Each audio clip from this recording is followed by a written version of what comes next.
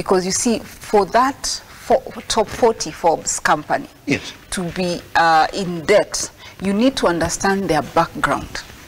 For example, they don't take debt because they need it. They take debt because it gives them advantage. Ah, I see that. Yes. So their companies, the big companies use debt for tax advantages, for market entry advantages, for many other advantages. In fact, for some of them, debt is a CSR. But for you, you're not doing any CSR. You're not entering a new market, you're not wavering any tax, you're borrowing, and even what you're borrowing is going to be taxed. So when you don't understand the essence of debt, you may say, every company, every large company has debt, so I must also have debt. But your debt is not an advantage. It is a disadvantage to you because it makes you pay more interest and more taxes Yes. simply because you have it in your system. That's it. Yes. Uh, As a, as a business journalist, it's the very first time I've met a financial analyst who's saying, well, that debt is not necessarily a good thing. Yes. Let me then go to where the conversation begins from um, this morning in terms of where we are talking about today. And if you look at essentially conversations around um, the debt and the debt management strategies, we're going to talk about um, areas in which now, for those of you who are already in debt, then how do you therefore begin to manage this debt? And that's why I want then Dr. Clara to come in at this particular time and start talking to us about now, good, you've taken debt Yes.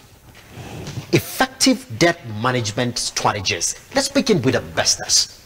You've taken debt. Yes. Maybe they never met you Yeah. to look at their businesses yeah, yeah. and say, well, do not go into debt. the different ways in which you can actually start to grow your business. You're in debt and you want to manage this debt. Yes. Are there effective strategies for a small business first Yes. that they're going to use today to start saying that, that we are managing our debt effectively?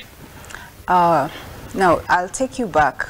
Uh, sometimes debt is not something that you take intentionally. Take, for instance, uh, you may be a partner with someone in a company, Yes. and the person decides to withdraw and demand that you pay back their shares in, in cash instantly. Otherwise, the company is collapsing. So what you do, you will be forced to take debt to pay him off just to keep the company afloat and running. Now, in that instance, it was not your desire to take the debt. You see? So they, there are circumstances that make people get into debt. It's not like everybody gets into debt because they want to.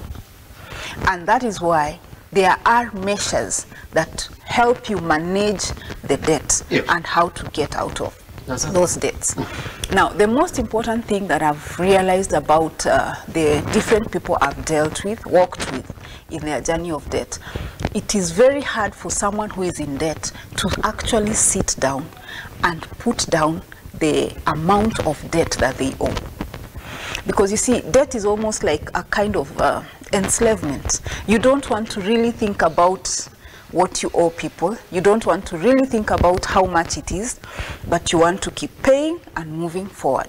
And most of what happens is that you borrow more to cover up for what is already accumulated. Yes. So the first step is for you to have a meeting with yourself and sit down and outline every debt that you have and the interest that is uh, upon that debt. And number three, the amount of time you think you can be able to complete the payment of each debt. Yes. That's the